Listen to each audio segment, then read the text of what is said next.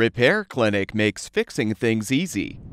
With millions of replacement parts available on our website and the help you need to do the repair yourself. Since we encourage you to perform this repair safely, a warning icon will appear when you should use caution. Before you replace the vent damper actuator in your microwave oven, be sure to shut off the power supply to the oven junction box.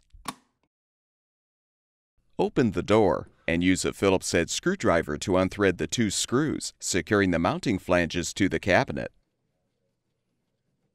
Remove the washers as well if still intact.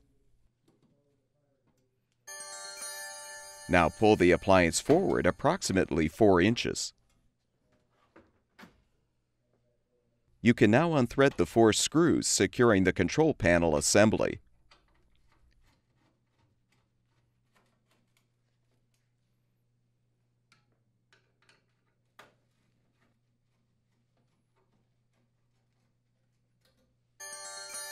Lift the control panel assembly up to detach. Disconnect the communication wire as well as the grounding wire to fully remove the assembly. Now rotate the vent damper actuator clockwise to detach it from the vent housing and disconnect the wire connector.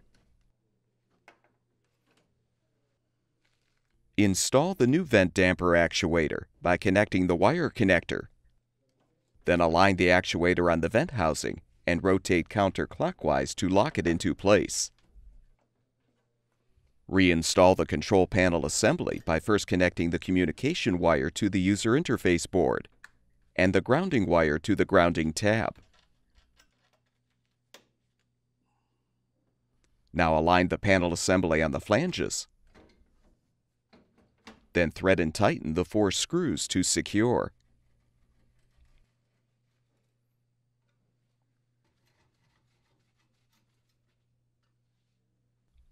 Push the appliance back into the cabinet. Insert the washers into the holes in the flanges.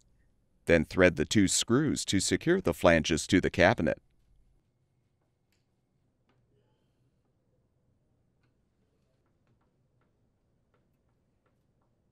With the repair completed, turn the power supply back on, and the microwave oven should be ready for use.